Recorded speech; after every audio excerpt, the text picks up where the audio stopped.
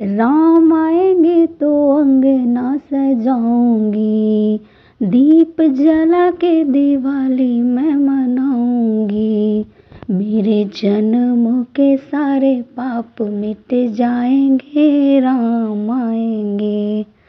जी हाँ दोस्तों तो राम आएँगे गाना बहुत ही पॉपुलर हुआ। बहुत लोगों ने इसके रील्स बनाए। इतना ज़्यादा पॉपुलर हो गया कि मंत्री, केंद्रीय मंत्री, प्रधानमंत्री, सभी लोगों ने इसके रील्स बनाए। सभी लोगों ने इस गाने को बहुत ज़्यादा पसंद किया। तो क्या आप जानना नहीं चाहोगे कि इस गाने को बनाने वाली, इस गाने को गाने वाली ये लड़की है कौन?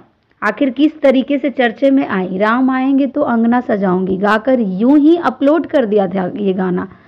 तो बताते हैं छपरा की स्वाति। जी हाँ दोस्तों छपरा की स्वाति मिश्रा ने इस गाने को गाना गाया है जो कि बहुत ज़्यादा वायरल हुआ और केंद्रीय मंत्री ने भी बहुत सारी रील्स इस पे बनाई है। तो राम आएँगे तो अंगना सजाएँगे।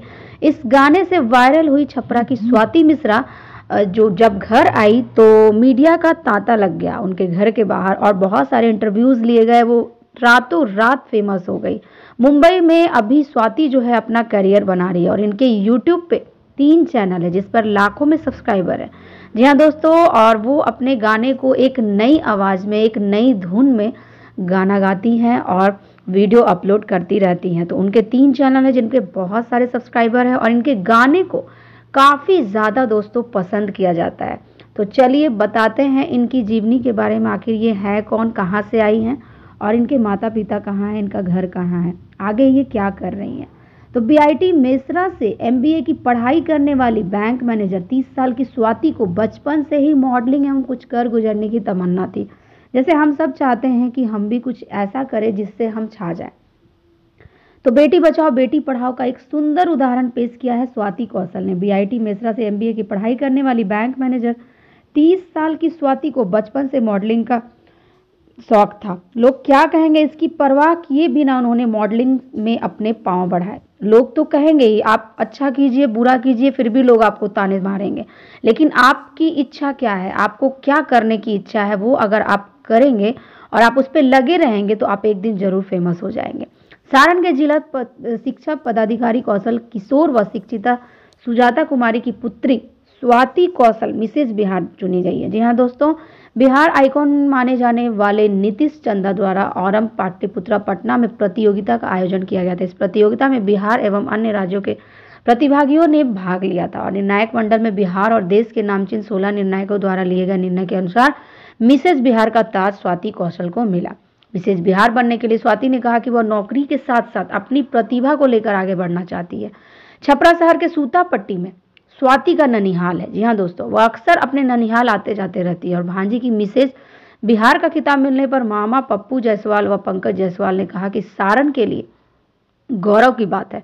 मिसेज बिहार की चमचमाती ट्रॉफी हासिल करने वाली स्वाति ने कहा कि अभी भी बेटियों को जो लोग समझते हैं, वो बोझ है। इन्हें जवाब देना बहुत ज़्यादा ज़रूरी है और ये अवार्ड उनके लिए सपने जैसा है और इस अवार्ड के साथ वह और भी मेहनत कर रही है और आगे भी कंपटीशन में भाग लेती रहेंगी। जब उन्हें मीडिया वाले ने, घेरा मीडिया वाले जब उनके घर गए तो उनके पापा के सामने उन्होंने अपना इंटरव्यू दिया और बहुत ही अच्छी तरीके से जवाब दिया। मीडिया वाले ने सवाल किया कि आप आगे क्या करना चाहती हैं? तो उन्होंने कहा कि मैं इसी तरीके से अच्छी अच्छी आवाज़ में अपने गाने पेश करती रहूँगी। तभी मीडिया ने सवाल किया कि क्या आप भोजपुरी, जो आपका प्रिय है मतलब स्वाति का भोजपुरी जो है वो मदर टंग है, ठीक है? वो छपरा की है तो भोजपुरी में ही बातें करती हैं। तो भोजपुरी गाने भी गाती हैं, लेकिन जब मीडिया वाले ने सवाल किया कि क्या भोजपुरी में जो गंदे गाने होते हैं वो आप गाएँगी? तभी उन्होंने कहा कि नहीं, मैं गंदे गाने कभी नहीं गाऊँगी क्योंकि मुझे बहुत सारे ऑफ़र ऐसे आए हैं। मेरे पास बहुत सारे ऐसे ऑफ़र आए हैं गाने के लिए, लेकिन मैं कभी भी इस तरीके के गाने नहीं गाऊँगी। मेरा गाना हमेशा साफ़ सुथरा और अच्छा रहेगा। तभी उसके पापा से पूछा जाता है कि, सर, आपने किस तरीके से इन्हें गाना गाना सिखाया? वो कहते हैं, हँसी मज़ाक में कहते हैं कि जब ये रोटी बनाती थी, तब ये गाने गुनगुनाया करती थी। रोटी तो बनती नहीं थी, जल जाती थी, बट इसके गाने हिट हो जाते थे। तो इसी तरीके से धीरे धीरे गाने की शुरुआत होती गई। गाने सिखाते गए वो इस तरीके से गाने नहीं सिखाते थे कि वो एक दिन जाकर फ़ेमस हो जाएगी। वो एक मतलब एक क्लास होता है, वो उस क्लास के ज़रिए ही उस म्यूज़िक को आगे बढ़ाते गए। और इस तरीके से आज वो रातों रात फ़ेमस हो जाती है।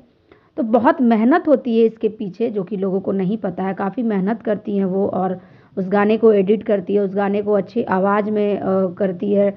बहुत सारी मेहनत करती है वो। और वो कहती हैं कि आगे भी इसी तरीके का सिलसिला जारी रहेगा। अभी तो शुरुआत है, आगे मैं और भी बहुत ज़्यादा कुछ करने वाली हूँ। उसने कहा कि वो नारी सशक्तिकरण के क्षेत्र में काम करेंगे और महिलाओं को भी बताएँगी कि जीवन में आगे बढ़ने के लिए शादी बाधक नहीं है, बल्कि साधक है। बहू और बेटी में अंतर को पाटना भी उनका मुख्य मिशन होगा। वहीं पिता कौशल किशोर ने अपनी बिटिया की सफलता पर खुशी जताते हुए उन्हें पूरा विश्वास था कि बेटी एक न एक दिन अपनी कामयाबी से माता पिता का सर ज़रूर ऊँचा करेगी। और कौन कौन माता पिता नहीं चाहता कि हमारी बेटी, हमारे बच्चे जो है आगे बढ़ें? तो इसी तरीके से उनके माता पिता उनके परिवार वाले काफ़ी ज़्यादा खुश हैं।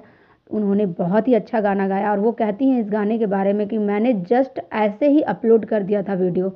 मुझे नहीं लगा था कि ये गाना इतना दूर तक जाएगा, इतना ज़्यादा फ़ेमस हो जाएगा। उन्होंने इस गाने को कहीं देखा था और उस गाने को थोड़ा सा नया म्यूज़िक में अपने म्यूज़िक वाले को बोलती हैं कि ऐसा म्यूज़िक डालना जिससे लोगों को पसंद आ सके। थोड़ा म्यूज़िक हट कर उन्होंने ट्राई किया और इस गाने को इसी तरीके से फ़ेमस होता हुआ देखकर काफ़ी ज़्यादा लोग खुशी हुए, बहुत ज़्यादा रील्स बनी, बहुत ज़्यादा वीडियोस बनी। तो क्या कहते हैं इस बारे में? मैंने खुद भी इस गाने को, गाने का रील्स बनाया जो कि मेरा भी रील्स बहुत अच्छा चला। तो क्या कहते हैं इस गाने में? स्वाति कैसी लगी आपको? कमेंट करके ज़रूर बताइएगा। चलिए आज के लिए इतना ही। आगे फिर मिलेंगे एक नई वीडियो के साथ। चैनल को सब्सक्राइब करके बेल आइकन को प्रेस कर दीजिएगा। चलिए धन्यवाद।